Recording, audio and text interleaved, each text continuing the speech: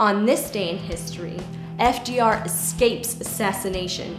In Miami, February 15, 1933, a deranged, unemployed brick lawyer named Giuseppe God knows what Zangara shouts, Too many people are starving, and fires a gun at America's president elect Franklin D. Roosevelt. Roosevelt had just delivered a speech in Miami's Bayfront Park from the back seat of his open touring car when Zangara opened fire with six rounds. Five people were hit. The president escaped injury, but the mayor of Chicago, Anton Cermak, was also in attendance, received a mortal stomach wound in the attack. Several men tackled the assailant and might have beaten him to death if Roosevelt had not intervened telling the crowd to leave justice to the authorities.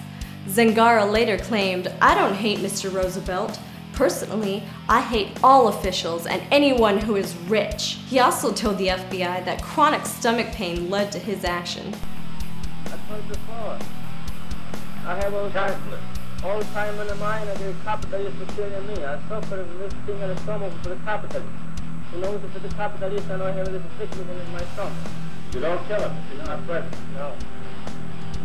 Since my stomach hurt, I want to make even with the capitalists by kill the president. My stomach hurt long time. Zangara's extreme action reflected the anger and frustration felt among many working Americans during the Great Depression.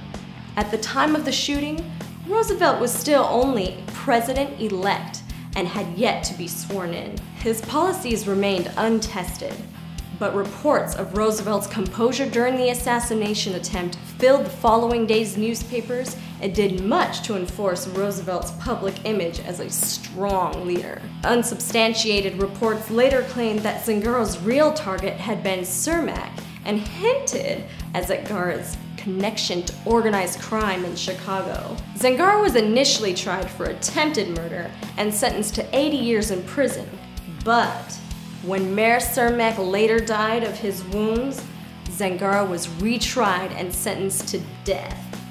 Zangara died on the electric chair on March 5th, 1933.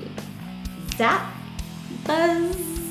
Well, folks, I hope you enjoyed today's lesson, and uh, belly pains are not a reason to attack our president, but be sure to leave your comments below.